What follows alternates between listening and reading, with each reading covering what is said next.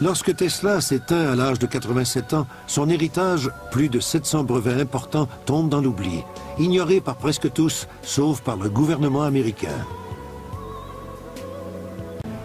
La vraie puissance de HARP n'est pas encore connue et il n'existe aucune agence de contrôle civil. La possibilité que le projet HARP soit capable de créer d'immenses perturbations à l'échelle planétaire, incluant la modification des conditions climatiques, un réchauffement global de la planète et même le ralentissement de l'orbite de la Terre, nous aide à comprendre pourquoi Tesla a détruit les plans de son invention. Il a cessé de travailler à son projet de bouclier défensif en 1905 parce qu'il avait compris que son système des cinq tours érigés autour de la Terre pouvait causer la destruction de l'espèce humaine. Dans les voûtes qui renferment les archives oubliées, nous avons découvert que le gouvernement des États-Unis élabore une technologie mieux connue sous le nom de HARP. Ceux qui œuvrent dans ce domaine croient que HARP pourrait nous aider à influencer le climat. Les critiques craignent que cette technologie devienne une arme d'une destruction monumentale si elle tombait entre de mauvaises mains. Aujourd'hui, la Terre est plus instable, elle vacille plus qu'avant. L'atmosphère s'accélère et la Terre ralentit. Le noyau terrestre devient plus chaud, le nord magnétique change. Le Soleil est plus actif et plus âgé que nous l'avons cru. Tout est plus imprévisible et les hommes semblent vouloir pousser les choses à leurs extrêmes limites.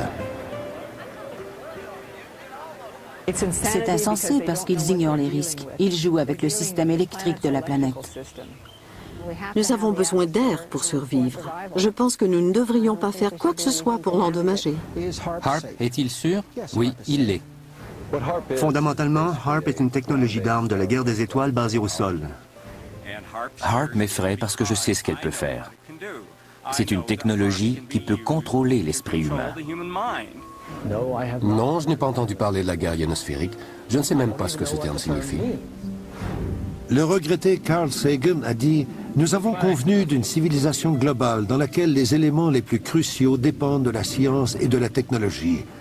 Nous avons aussi organisé les choses pour que personne ne comprenne la science ou la technologie. Nous pourrions y échapper pour un certain temps, mais tôt ou tard, ce mélange explosif d'ignorance et de pouvoir nous sautera au visage.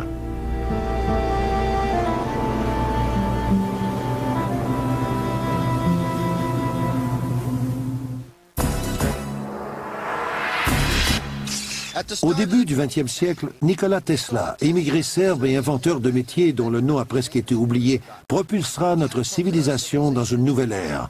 On lui doit le courant alternatif, la radio, le tube fluorescent, le contrôle à distance ainsi que la robotique.